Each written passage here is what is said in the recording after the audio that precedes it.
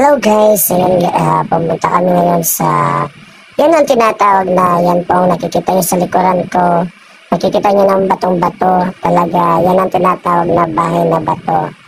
Pumunta kami ng Arayat, Pampanga, dito kami, dito kami dinala ng aming kaibigan na si Eric. So, ang bahay na bato na yan ay parang matandang mga bahay na ewan ko na ginawa nila or dati na siyang bahay na na matagal na sa Arayat, Pampanga. And may entrance fee pala dyan bago kayo makapasok. Kailangan may 50 pesos entrance fee per person. So, ayan, sinubukan ko umakyat. Pumasok pala sa loob at umakyat. Kahit ako lang mag-isa na napakadaling. Pinasukan ko pala. Pumasok ako dyan at pumunta sa taas na ako lang mag-isa na napakadalim talaga na parang haunted house talaga uh, sa sobrang dilim. Niyaya ko yung mga kaibigan ko na umakyat pero ayaw nila. Kasi daw natatakot sila ta ewan. Tapos may, ayan, tsaka napakaganda sa taas. Kitang-kita mo yung sa baba. Meron rin mga mga tao na na pumupunta din dyan at pumapasyal. Ayan, kita-kita nyo naman mga green na puno. Malaberde, ayan. Yung surrounds din dyan, green na green. At ayan na nga. Oh. Tumingin-tingin ako dyan. Ayan. Pinapakita ko dyan yung kung gaano siya kadilim talaga. Yung bahay, yung mga kagamitan, yung structure, kung paano siya ginawa. Ayan, parang, ewan ko, talagang sobrang, parang makalumang bahay talaga na, hindi ko alam kung ginawa lang to or dati o ngayon or dati na to. Hindi ko kasi alam yung history niya, pero makikita niyo naman na parang lumang bahay talaga. Tapos madilim. Yung parang hindi siya tapos. Parang may mga kuweba-kuweba na madilim. Ayan.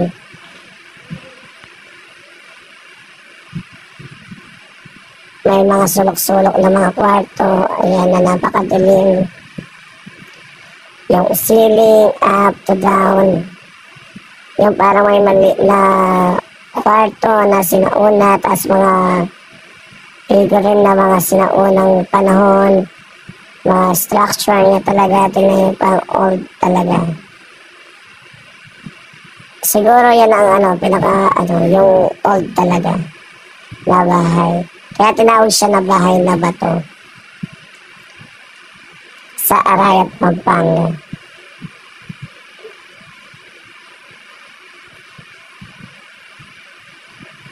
Pero parang ancestral house siguro. Hindi ko, ayan, tingnan nyo yung mga ano, yung mga display nila, yung mga, uh, parang mga figurine nila. Oh, parang serena yan, ewan ko. Parang old talaga. Mga antik-antik, antik-antika na ng mga dating.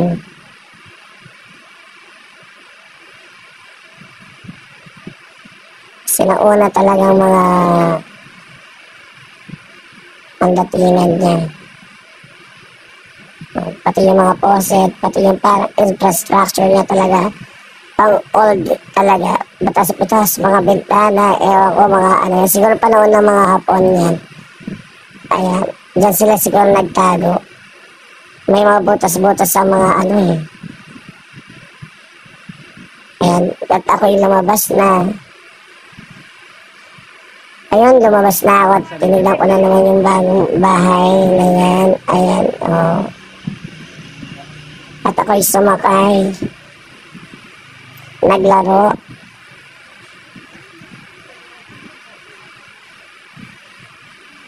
Nagpa-picture.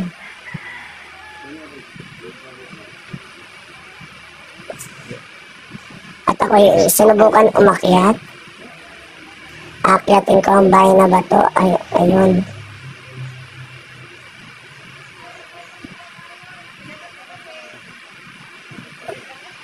Dito. Lumibot-libot ka kasi. At ako yung pumunta naman sa kabila na naman.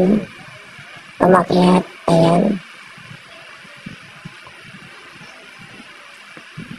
Ayun nung pumunta ng mga kasama ko kasi raw crack-crack. Lumaraw ang mga buildings. So, parang may mga crack daw. Pero ako nagmalakas loob talaga ako na umakyat-akyat. Kasi gusto ko matry may experience. Stop Tsaka ako umupo.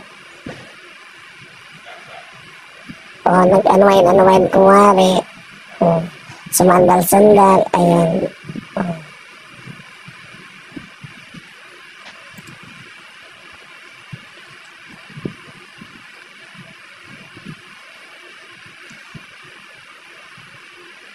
At kumari nawakan ko yung halaman o pa-picture daw.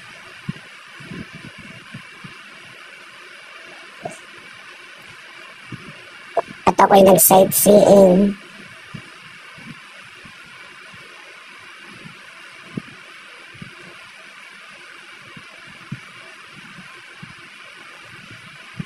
Tinignan, tinignan ko ang kalikasan.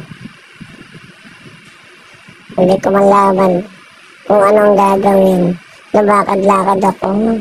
Tumingin-tingin sa ilalim, sa side, sa taas, at tinignan ko ang kapaligiran.